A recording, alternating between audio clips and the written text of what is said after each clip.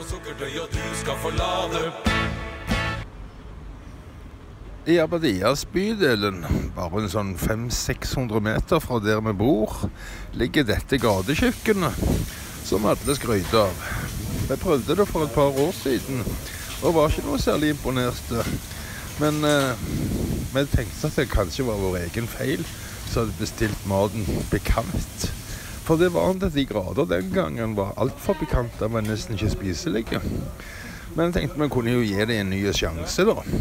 Så jeg tok og bestilte noe litt mildere med roquefort-smak. For å se hvordan det var. Prisene her er jo helt upåklagelige. Du får mye mat for pengene.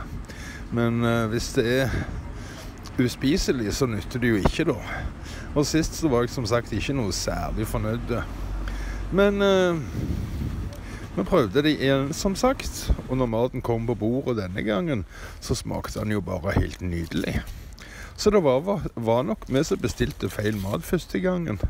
Så jo, hvis du er sulten og vil ha billig mat, så prøv gjerne det gatekjøkkenet i Abadias bydelen. Det er ingenting, ingenting galt med kvaliteten på maten der.